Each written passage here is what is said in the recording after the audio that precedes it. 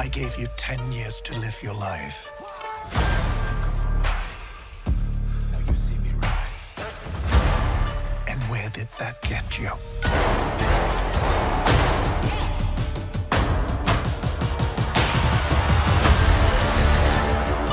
You walked in my shadow.